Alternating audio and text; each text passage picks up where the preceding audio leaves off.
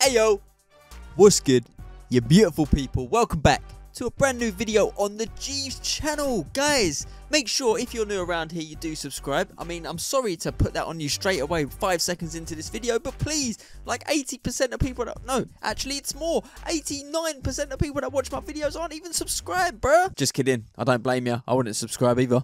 Guys, what is it about the current degenerate crypto season, man? Like, I've just seen a video of a guy live on Kick exploiting his own mum to try and pump and dump a coin. What the hell is that all about? Basically, it was like once this coin hits a certain price, she'll get her tits out. And it's his own mother sitting there. According to what he said, that's his mum. But it's probably fake. Everything's fake on the internet, isn't it? The internet is just full of absolute wafflers. But yeah, man, the crypto world, I don't know, it's kind of crazy. It's a little bit fucking mad, I'll be honest. Anyways, ladies and gents, let me get on topic. And today I want to talk about Mr. Beast because I saw an old tweet from someone saying that Mr. Beast has ruined YouTube. I was kind of thinking to myself, how? But then I kind of get both angles, but ultimately I don't think Mr. Beast has ruined YouTube. Let's just make sure that doesn't get taken out of context because I don't want Mr. Beast fans hating on me because I'm not hating on him. I'm just saying, I'm just saying. Realistically, I think Mr. Beast has done some amazing things for YouTube. I mean, the numbers he pulls on a video is insane.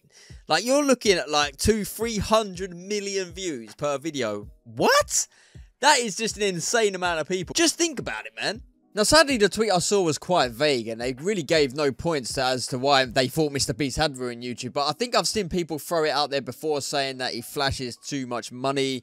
You know, it's all about the money, etc., etc. Lambos, blah blah blah, whatever, man. Now, Mr. Beast's channel's kind of moved away from being a YouTube channel, if that makes sense. Although it's still on YouTube, he's basically a game show host now, isn't he? Him and his team. The videos he makes are game show like, if not more entertaining than game shows, plus more money involved in game shows. Like, anyone who lives in the UK knows that the game shows over here, they pay like absolute crap. You can win like two or three thousand pounds. A normal Mr. Beast video, you're gonna win at least 10 grand. At least 10 grand. And half of the time, you don't even have to win to make money. You can just participate and he feels sorry for you and gives you money. And that's great, right? Now we know YouTube's gone through an era of people flexing wealth and flexing cash, Lambos, Ferraris, whatever.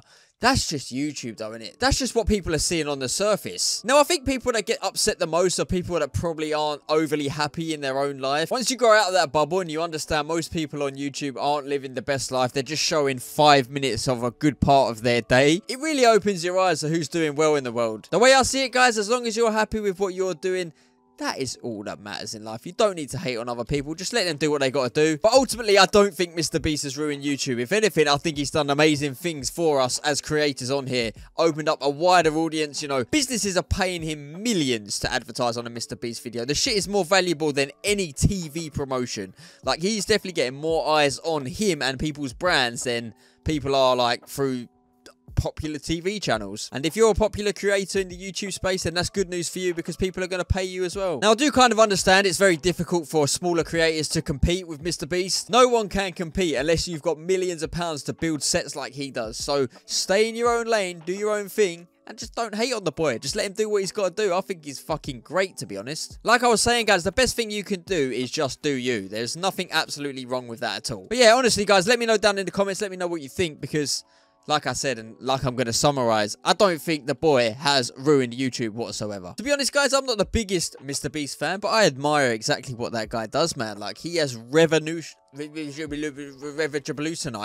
like, he has revolutionized the YouTube game, which is great. And he's doing great things with his, uh, like, Beast Burger and his festivals. Good luck to him, man. Not that he needs my meaningless opinion, but yeah, good luck to you. Look at me talking like Mr. Beast is even going to watch this video, yeah, you know? Well, one can only dream. Oh no, my camera! Nonetheless, ladies and gentlemen, thank you very much for watching this video. I don't need this blasting in my ear at the moment. Good God. But yeah, I just thought I'd share my thoughts on it, guys. I read the tweet and I was just thinking, Nah, he's the boy. He makes fantastic content. Let's just enjoy it for what it is, man. Like, we don't need to be haters. We can just enjoy things for what they are. We don't need to nitpick at every little thing in life, man. Let's just enjoy it, like I said. But anyways, guys, thank you very much for watching. Make sure you drop a like on it. Subscribe if you're new around here. And I'll see you in my next one. Thank you very much.